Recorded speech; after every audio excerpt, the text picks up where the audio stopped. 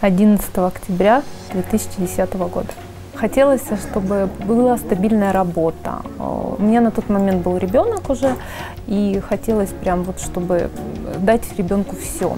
Я до этого работала на компании в частной бухгалтером, и проработав бухгалтером 8 лет, поняла, что что-то надо менять.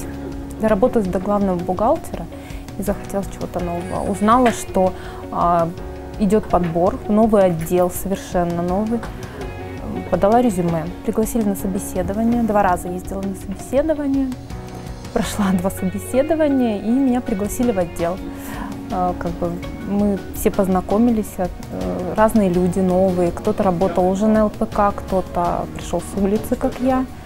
Ну вот, и начали, как сказать, новую, новую работу для филиала вообще. Отдел планирования и контроля производства. Затем мы стали изменяться, то есть мы начали изменять свою работу, находили слабые места, и в 2012 году мы изменили название, у нас стал сектор работы, вот, и меня назначили руководителем этого сектора.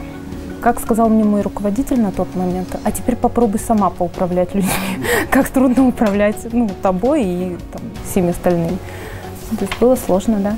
У нас очень дружный коллектив, очень слаженный, то есть мы э, проводим за пределами, не только на работе, да, очень много времени, но и за пределами работы. Я бы хотела своим коллегам пожелать, да, чтобы всегда было э, в глазах искра, чтобы всегда хотели идти на работу, всегда получали удовольствие от своей работы, от проделанной. Ну, большую часть жизни я провожу на работе, большую часть. Ну, это семья какая-то, вот уже отдел, это моя семья, в принципе, вторая.